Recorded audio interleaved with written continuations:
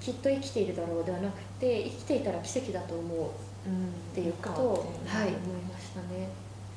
ちょっとあそこまでの破壊の爪痕を私も見たことがなかったので、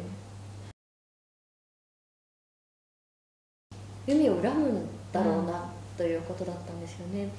海に対してやはり悲しみをぶつけたりですとか怒りをぶつける方もいるかもしれないですし、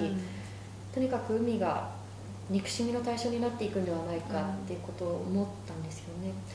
でももう震災直後からだったと思うんですけれどふっと港であったりですとかあの破壊されてしまった防潮堤のそばに寄ってみるとやはり人がいるんですよねそこに、うん、で浜の人たちが何か拾えるものがないだろうかであったり、うん、あの使える漁具は残ってないだろうかっていうふうにもうその時点で少しずつ戻ってきている。でその姿に本当に衝撃を受けてあれだけ人の営みを破壊してあれだけ人の命を奪っていってでそれでなぜもう一度海に人が戻っていくんだろうかということが、あの当時の自分自身には不思議だったんですね。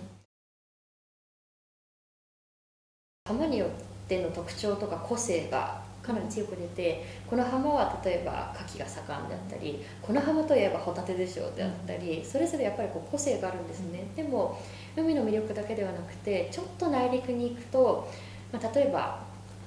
まあ、お米であったり麦なんかもそうですしあとは酪農なんかもそうですよね。で冬にやはりこう雪深くなってあの風景として美しいっていうこともあるんですけれどやっぱりその雪の下で次の命が育まれてるってこともあってやはりこう同じ街の中でももちろんですしこの県内だけで四季のやはりこうくっきりとした美しさっていうのに触れることができる。でそうするとやはりこう冬の真っ白さを知っていると夏の緑の美しさっていうものにものすごく打たれますし海の色もそうだと思うんですよね。夏の海の色を知っているとやはりこう冬の